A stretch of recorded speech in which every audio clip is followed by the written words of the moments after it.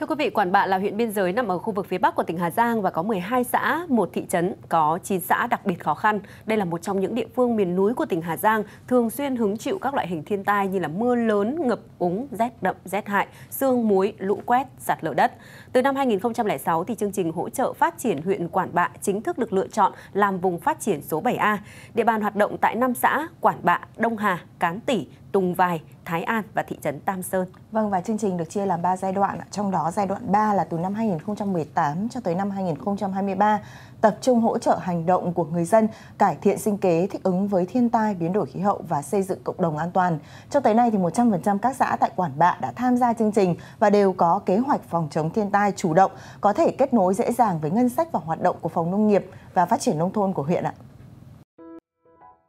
Đây là cây cầu bê tông vượt lũ được xây dựng tại bản Thăng, xã Tùng Vài, huyện Quản Bạ, tỉnh Hà Giang. Trước khi cây cầu này được xây dựng, người dân bản Thăng không thể qua suối an toàn vào mùa lũ. Thì nước nó cũng vượt cầu, nếu mà mình đi nương đi đâu về thì cũng phải tay bám cầu xong bò qua thôi. Trẻ con ở nhà cũng xin có giáo nghỉ không được đi học. Có cái cầu này thì còn các con còn nực nước ngập mà bố mẹ cõng qua. Cầu bê tông vượt lũ được đầu tư từ chương trình giảm nhẹ rủi ro thiên tai dựa vào cộng đồng của tổ chức ActionAid. Chương trình này đã tập huấn tuyên truyền tới hơn 40.000 lượt người và các giải pháp chủ động phòng chống thiên tai trên địa bàn. Nhờ vậy, trong những năm qua, mặc dù là địa phương chịu rất nhiều loại hình thiên tai, nhưng không để xảy ra thiệt hại về người và gia súc. Thì như ở các cái thôn biên giới rất khó khăn, thì qua quá trình tập huấn cũng như là của chương trình thì các bạn đoàn viên thanh niên cũng như người dân cũng đã ý thức được và à, chấp hành cái việc là bảo vệ rừng cũng như là à, bảo vệ cái, các cái nguồn nước khi không không phá hoại để tránh cái việc, tránh bị à, ảnh hưởng bởi lũ. Trong giai đoạn 2025-2030, các đối tác giảm nhẹ rủi ro thiên tai cùng với Cục Quản lý Đê điều và Phòng chống thiên tai, Bộ Nông nghiệp và Phát triển Nông thôn đã xây dựng các mục tiêu ưu tiên, trong đó vẫn xác định sự tham gia quan trọng của cộng đồng trong các khâu, từ phòng ngừa cho đến ứng phó và khắc phục hậu quả thiên tai. Kế hoạch 5 năm tới với mục đích tăng cường khả năng chống chịu của Việt Nam thông qua việc nhấn mạnh vào các lĩnh vực chính như chính sách đồng bộ, lập kế hoạch phát triển có thể tính đến yếu tố rủi ro và nâng cao nhận thức của cộng đồng và các lĩnh vực khác. Những hiểu biết sâu sắc của các thành viên đối tác giảm nhẹ rủi ro thiên tai sẽ góp phần quan trọng trong việc định hình các ưu tiên và định hướng con đường chung của đối tác. Tình trạng biến đổi khí hậu đang diễn biến phức tạp với mức độ rủi ro thiên tai khác nhau, gia tăng mức độ tổn thương đối với cộng đồng. Điều này đặt ra yêu cầu đối với chính quyền các cấp và người dân trong thay đổi chiến lược ứng phó với biến đổi khí hậu. Trong đó, trọng tâm cần chủ động lập kế hoạch và sẵn sàng hành động sớm trước khi thiên tai xảy ra. Vâng, Việt Nam là một trong năm quốc gia chịu ảnh hưởng nặng nề nhất của thiên tai và biến đổi khí hậu. Thiên tai nghiêm trọng thường xuyên diễn ra ở trên khắp các vùng miền của cả nước, có xu thế là ngày càng gia tăng và khốc liệt với 22 loại hình thiên tai xảy ra ở khắp mọi miền của đất nước và đặc biệt là bão, lũ, lũ quét, sạt lở đất, ngập lụt đang ngày một khốc liệt hơn, vượt các mốc lịch sử được ghi nhận. Theo thống kê của Ban Chỉ đạo Trung ương về phòng chống thiên tai, trong vòng 30 năm qua, trung bình mỗi năm, thiên tai đã làm gần 400 người chết, và mất tích và gây thiệt hại kinh tế khoảng 1 cho tới 1,5%.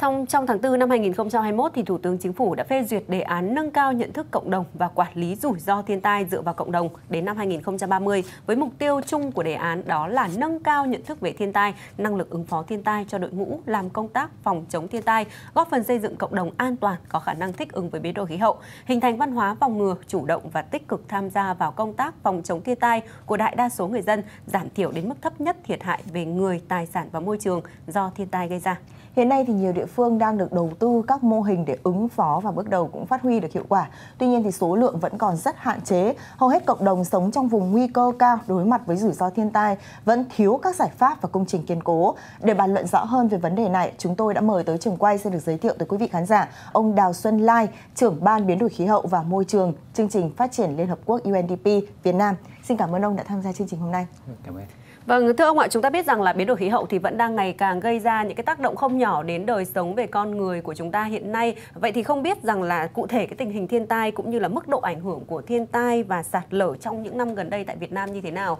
Và ông có đánh giá uh, đâu là những nguyên nhân chính dẫn tới hiện tượng này ạ? À, tôi rất là đồng tình với cái nhận xét à, gần đây với cái tác động của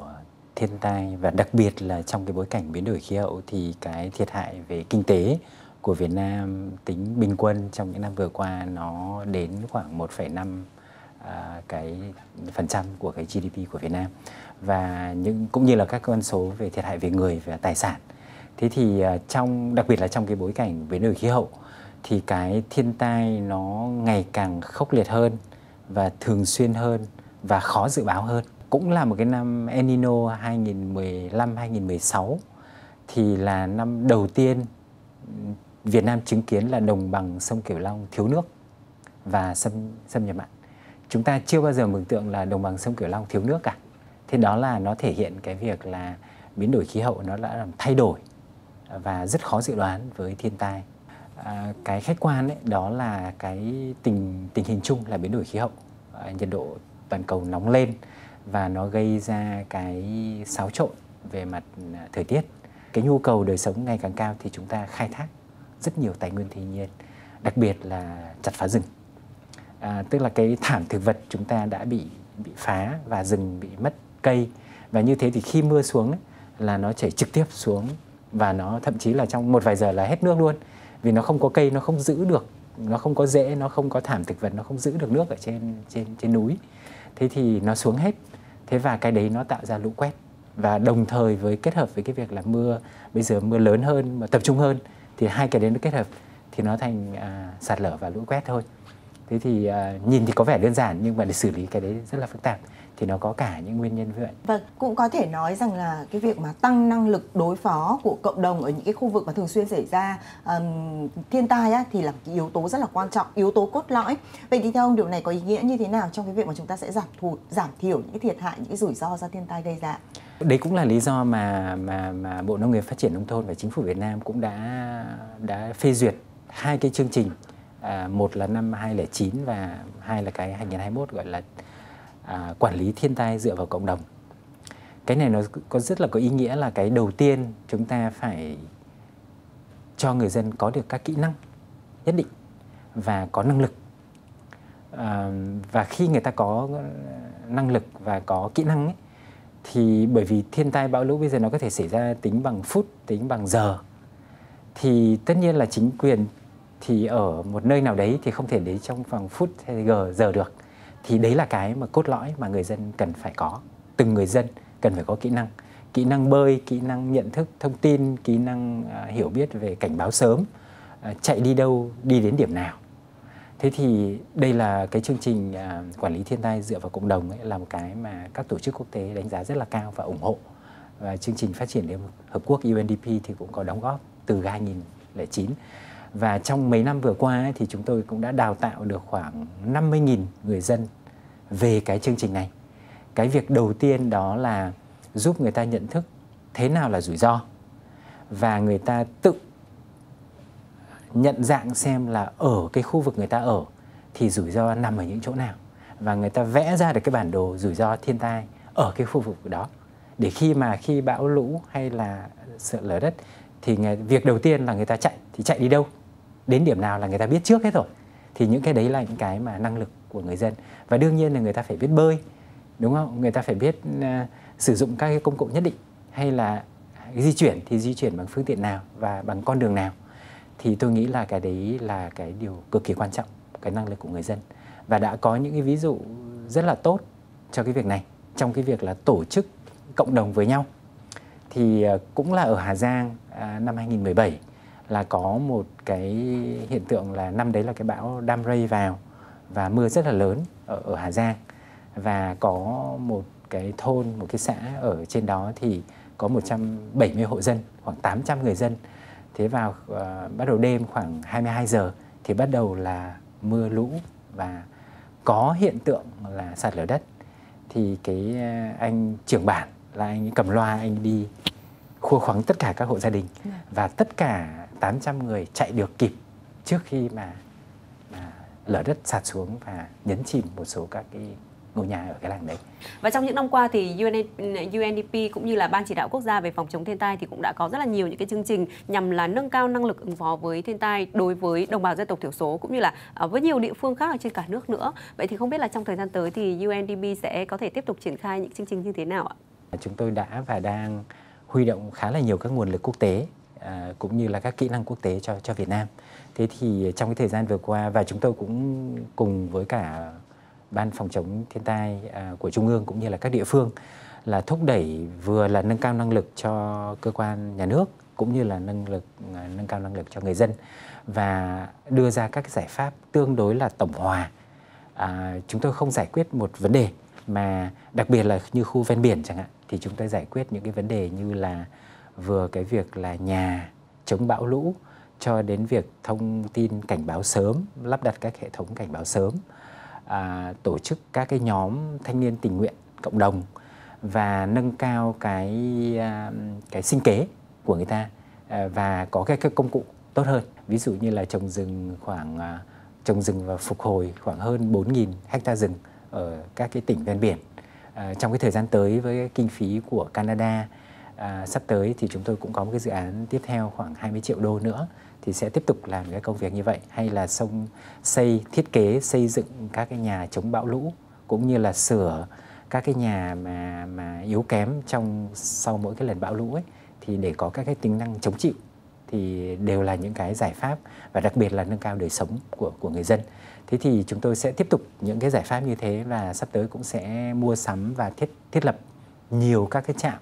gọi là cảnh báo sớm hơn nữa để kết nối với hệ thống của trung ương để dự báo cũng như là truyền tải các cái thông tin. Vâng, à, một câu hỏi nhanh thôi ạ. Vậy còn phía người dân thì sao? Họ cũng cần phải có những giải pháp như thế nào để tự bảo vệ mình để giảm thiểu những rủi ro đến với gia đình và đến với bản thân mình ạ? Cái việc đầu tiên là chúng ta nói đến cái quản lý thiên tai dựa vào cộng đồng thì các kỹ năng ví dụ như kỹ năng tối thiểu là à, có được thông tin, hiểu được thông tin và với mỗi loại hình thiên tai thì nên phản ứng như thế nào để mà cũng như là vừa là nhận thức cho bản thân vừa là giáo dục những người trong gia đình và trong cộng đồng của mình. Và tổ chức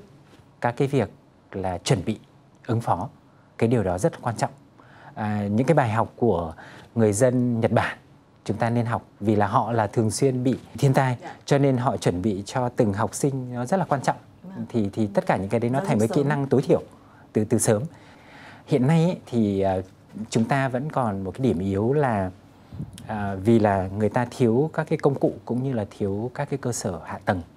À, ví dụ như là các cái ngôi nhà của người ta chưa an toàn. Thế thì chính quyền của chúng ta vẫn rất là vất vả là mỗi khi bão lũ đến là phải sơ tán rất nhiều người dân đến trường học trạm y tế những cái cơ sở mà cái cơ sở hạ tầng nó nó vững chãi hơn. Thì nó cũng rất là tốn kém mà nhiều khi cũng có lúc không kịp.